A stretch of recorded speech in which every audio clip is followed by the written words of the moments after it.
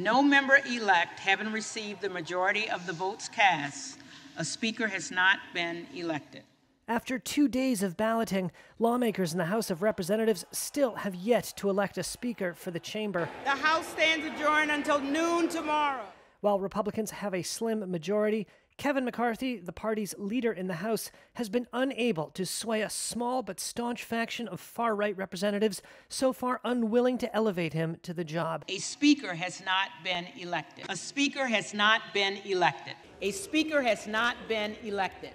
A speaker has not been elected. A speaker has not been elected. He fell short on a sixth ballot Wednesday. Voting will resume Thursday without any sign of an end to the gridlock. Well, it's Groundhog Day. I rise to nominate Kevin McCarthy for Speaker of the House. The Speaker contest marks the first time in a century that the election has gone beyond a first round of voting. The Republican infighting comes despite a plea from former President Donald Trump to unite behind McCarthy.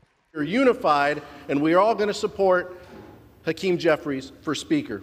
The Democratic leader, Hakeem Jeffries, has so far come out with the most overall votes in six straight ballots, but not a majority.